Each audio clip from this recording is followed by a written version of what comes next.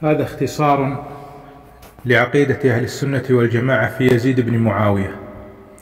الحمد لله والصلاة والسلام على رسول الله. أما بعد لما كان مبنى عقيدة أهل السنة والجماعة على ما في كتاب الله وسنة رسوله صلى الله عليه وسلم التي تهدي إلى العدل والقسط كان الورع وحفظ أعراض الناس وحقوقهم دينا يدينون به.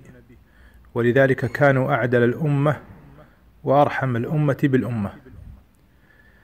قال شيخ الإسلام ابن تيمية رحمه الله تعالى لم يكن أحد إذ ذاك يتكلم في يزيد بن معاوية ولا كان الكلام فيه من الدين انتهى كلامه.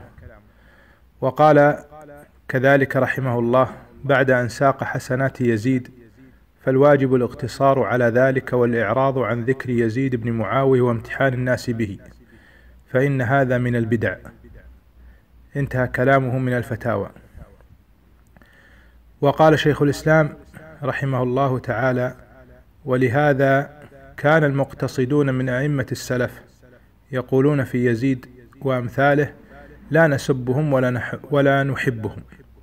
كذلك من الفتاوى. وقال شيخ الإسلام ابن تيمية رحمه الله افترق الناس في يزيد بن معاوية ثلاث فرق.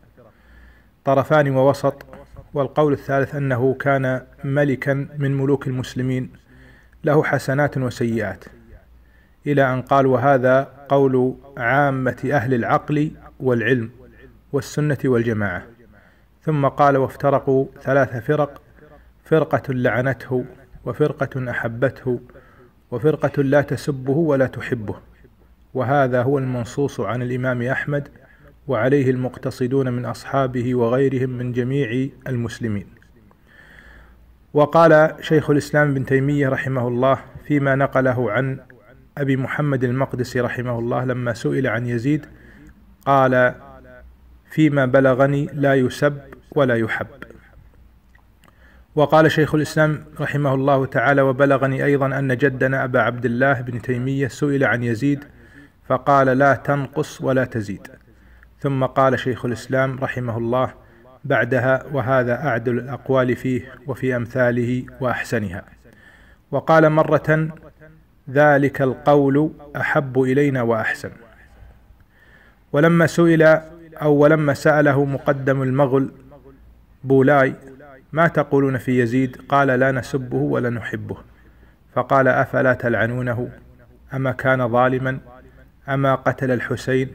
فقال نحن إذا ذكر الظالمون كالحجاج بن يوسف وأمثاله نقول كما قال الله ألا لعنة الله على الظالمين. فلم يتجاوز رحمه الله ما عليه أهل السنة والجماعة. وأما ما نقل عن الإمام أحمد من الروايتين في جواز لعن يزيد فإنما هو من فهم ابن الجوزي الذي يرى لعنه. وابن الجوزي ليس من محقق اعتقاد أهل السنة والجماعة. وأما ما نقله القاضي أبو يعلى من رواية لعن الإمام أحمد فقد قال عنها شيخ الإسلام إنها منقطعة وليست ثابتة عنه كما جاء عنه في المنهاج في المجلد الرابع صفحة 573 وقال أبو طالب سألت أحمد عن لعن يزيد فقال لا نتكلم في هذا أرى الإمساك أحب إلي. وهذا ذكره في المقصد الأرشد في المجلد الثاني صفحة 283 وقال الذهبي في خلاصة قوله في يزيد لا نسبه ولا نحبه. ذكر ذلك ذكر ذلك عنه في السير. وقال شيخ الإسلام رحمه الله عن يزيد ولم يكن مظهرا للفواحش كما يحكي خصومه. انتهى كلامه. ومعنى عبارة السلف في يزيد لا نحبه. قد بينها شيخ الإسلام ابن تيمية رحمه الله بقوله لا يحبونه محبة الصالحين وأولياء الله وقال أيضا لا نحب ما صدر منهم من الظلم والش من الظلم والشخص الواحد يجتمع فيه حسنات وسيئات وطاعات ومعاصي وبر وفجور وشر فيثيبه الله على حسناته ويعاقبه على سيئاته. كذلك من الفتاوى ومعنى لا نسبه ما قاله الشيخ العلامة محمد بن صالح العثيمين رحمه الله حقيقة السب أن تصف غيرك بما هو نقص في حقه. انتهى. فمن تفكه في تنقصه له أو أعلن على الملأ أنه يبغضه ويمقته أو يكرهه فقد سبه.